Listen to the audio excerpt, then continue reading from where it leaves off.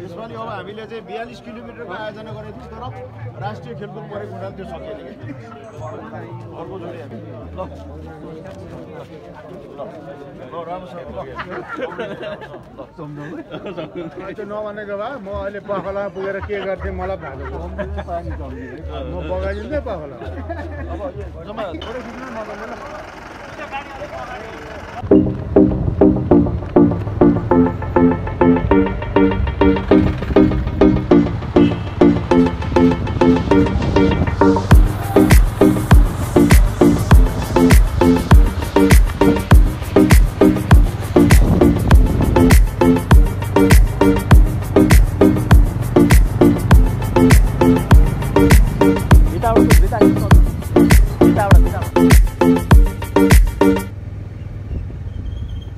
एकदम बधाई छ बधाई छ है।